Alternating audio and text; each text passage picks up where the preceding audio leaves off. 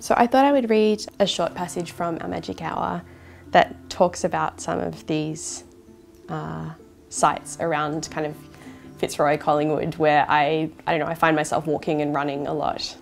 It's about the main character Audrey and, and the place that she lived with her ex-partner.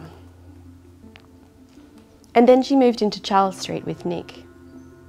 They walked to the Abbotsford Convent. They walked around the river and down along the tourist drives in Yarra Bend Park, sometimes as far as the Thomas Embling Hospital.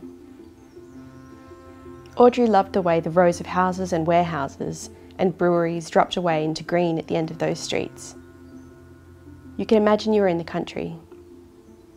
The little house, where everything had happened in the bedroom and the kitchen, and a car out front meant someone was home.